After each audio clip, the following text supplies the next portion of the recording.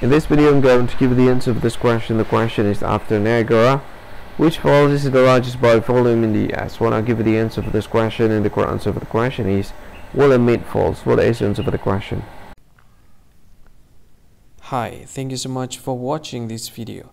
If you find this video is very useful, you can help this channel to grow by subscribing this channel. Please this subscribe button and don't forget to like this video. And if you find this video is not really good or you don't really like this video or you kind of feel that it's a little bit offensive or something like that, you can click this one, dislike button. You can do that anyway. And if you want to share this video with your friend, you can share it by clicking this share button and you can share it to any any social media that you wish that is currently available at this time like Facebook, Twitter, LinkedIn, and many others. Right?